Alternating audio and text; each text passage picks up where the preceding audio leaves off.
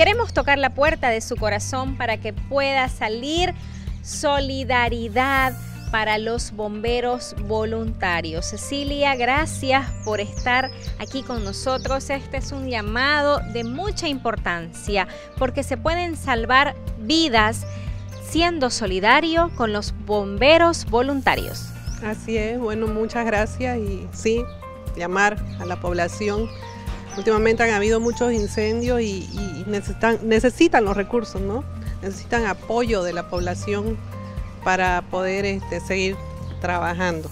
Salvar vidas es una noble labor que este grupo de bomberos voluntarios lo hacen gratuitamente. Miren, ustedes no solamente son varones, también tenemos damas. Valeria, ¿qué es lo básico que necesita tener un voluntario para poder estar habilitado e ir a donde está el fuego?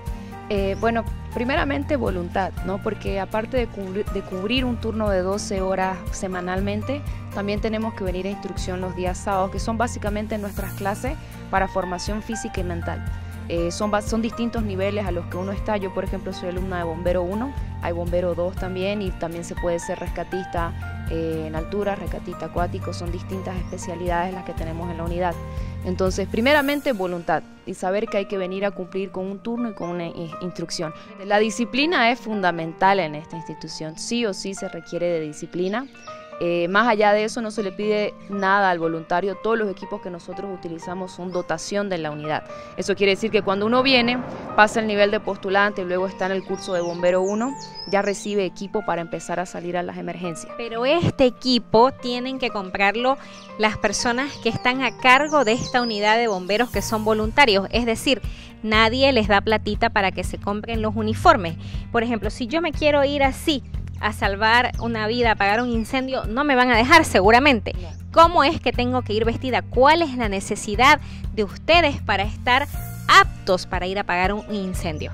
En el caso de un incendio estructural, que es lo que vimos recientemente en el mercado mutualista, tenemos que utilizar trajes especiales. Son una jardinera, hay un chaquetón más encima que va, tenemos también una monja que cubre toda la parte de la cara, tenemos el casco, las botas especiales y dependiendo de la cantidad de humo y la cantidad de, de tóxico que se encuentra en el ambiente, utilizamos equipos de respiración también que son máscaras conectadas a un cilindro de aire.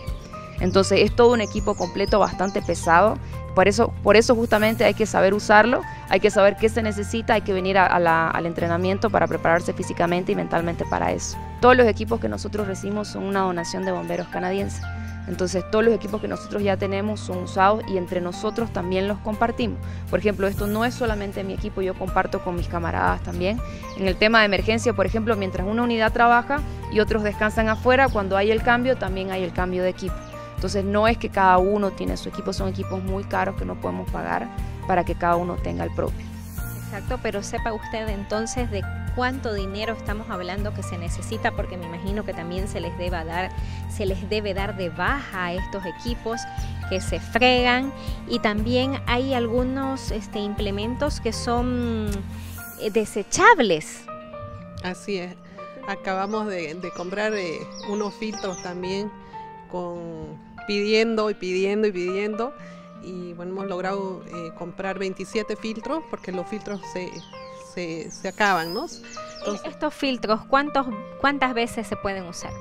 ya caducaron, pero por las circunstancias en las que nos vimos envueltos. Puede ser que incendios como estos no veamos de aquí a unos cuantos meses, como puede haber uno ahorita mismo. Entonces depende mucho del uso. Ya nos dimos cuenta nosotros que ya no daban porque realmente son, son unas máscaras full face nos colocamos las máscaras que cubren completamente la cara y vienen dos filtros acá. Esos filtros ya están los que tenemos nosotros ya están completamente saturados. Para el incendio en el mercado mutualista ya no, realmente ya no funcionaban es decir, ya no les protegía. Miren ustedes la carencia. Están arriesgando sus vidas, sus pulmones. Aparte de que no se les paga, no se les reconoce el trabajo como un trabajo remunerado. Todos necesitamos dinero para vivir, entonces imagínense. Y aparte de eso, el no cuidarse, el no protegerse puede traer dificultades en la salud. Es mucho riesgo. ¿Cuánto salen estos filtros? Bueno, los filtros los hemos conseguido por 112 bolivianos, de 140 nos ha hecho un buen descuento. O sea, de 140 bolivianos lo pagaron en 112. Lo ideal sería que estos filtros se desechen cada vez que se va a un incendio. Aquí por las carencias lo usan dos hasta tres veces el mismo filtro. Entonces, le estamos contando así para que usted pueda tener sensibilidad, usted pueda comprometerse de repente con un aporte todos los meses, así sea de 10 bolivianos, 20, de 50, de lo que sea, pero se acuerde que en algún momento quizás usted tenga la necesidad de ocupar a estos voluntarios bomberos, no lo sabemos, que ellos no tengan los trajes, que no tengan los filtros, que no tengan cómo ir a salvarnos porque nadie se solidarizó. Entonces, hoy por hoy hacemos ese llamado a usted que nos escucha. Eh, primeramente también para quienes deseen formar parte de la unidad, eh, son bienvenidos. Ahora ya terminó el reclutamiento por este año, pero el año vamos a tener otro. Y quienes quieran venir a recibir el entrenamiento, bienvenidos. Quienes quieran venir a apoyar con cualquier tipo de aporte, la gente viene y dona lo, que puede. Han venido a dejarnos soda, rehidratantes, agua, este, a veces hasta nos han venido a donar colchonetas para que el turno pueda descansar, digamos. También si quieren dejar colaborar con aporte económico, también pueden de la manera que quieran, transferencia, código QR, venir y aportar directamente o apoyarnos en las actividades que tenemos. Nosotros todos los domingos aquí en la estación lavamos vehículos, motos, autos, vagoneta, camioneta, lavamos vehículos a modo de recaudar fondos, todos los domingos sin excepción. También tenemos cada dos, tres semanas, depende cómo va cómo nos vamos organizando, vendemos comida. Todo lo recaudado acá justamente va directamente ahorita a, a los vehículos, ¿no? El combustible eh, para los vehículos, para las motobombas, para el mantenimiento de algunos vehículos que tenemos parados pueden aportar de la manera que quieran. Son todos bienvenidos, la verdad. Qué valientes realmente, de todo hacen para poder servir. Eso es tener ese espíritu de servicio hacia la comunidad. Cecilia, ahí está en pantalla los números, los teléfonos para que ustedes se contacten y aquellas personas que sienten eh, que se ha tocado su corazón puedan ayudar. Hacerlo esporádicamente, hacerlo habitualmente, como usted este, proponga en su corazón. Así es, como dice Valeria, sirve 20. Me acuerdo que no me acuerdo si hace como dos o tres semanas pedían gasolina, gasolina porque no tenían combustible.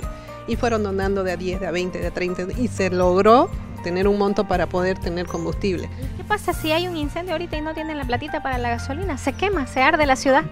Conseguimos como sea conseguimos, porque la verdad que hay gente bien solidaria, ¿no? Ayuda bastante. Vamos a dejar de ir a comer pizza un día y esos 100 bolivianos lo vamos a donar a los bomberos. Muchísimas gracias entonces.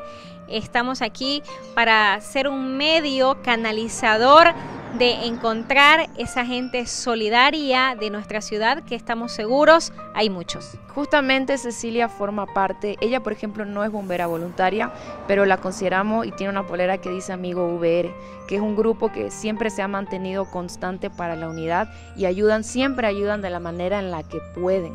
A veces inclusive si no tienen dinero, nosotros los hemos visto, se han apersonado ellos al incendio y han colaborado con lo que pudieron, con una botellita de agua, con una botellita de rehidratante, lo que pudieron. Entonces, con, personas como Cecilia, la verdad es que estuvimos saliendo a flote todo el tiempo y que ella misma les explique cómo llegó a nosotros, pero este, se puede, se puede, no, no necesariamente, porque la gente dice, yo no puedo ir a ser bombero, yo no tengo 100 bolivianos para donar, digamos, pero hay un grupo de amigos donde, donde apoyan de la manera en la que puedan Nomás es estar pendiente, ¿no es cierto? O sea, estar, estar atento a las necesidades de la Exactamente. o puede ser un amigo VR también buscando gente solidaria que usted conozca para traerlos a que hagan sus donaciones. Esa también es una tarea, Cecilia. Así es. A veces yo, por ejemplo, ellos me, me dieron mi polera y yo la subía al Face y me, escribieron cómo hago para ser, para ser amigo VR, ¿no? Entonces así uno va contactando a la gente solidaria y le digo, tienen que ir a la estación, tienen que conocerlos a ellos porque son seres humanos increíbles. Y bueno, y, así ir juntando de, a poquito, de a poquito para que la gente pueda ayudarlos y colaborarlos. Todavía se deben los, el camión cisterna creo que se debe, entonces y volviendo del incendio en la mutualista, tuvo un desperfecto también este camión. Entonces se suma, ¿no? Necesitan para el desperfecto, necesitan para todo. Entonces con un granito chiquitito va sumando, va sumando y se puede colaborar con ello. Bueno, muchísimas gracias. Esperemos que prontamente las necesidades ya mengüen y que también, no sé, de alguna forma puedan recibir ayuda de alguna institución que subvencione y nos dé una estación de bomberos, una unidad de bomberos digna de que no tenga que estar pasando tantas necesidades. Gracias.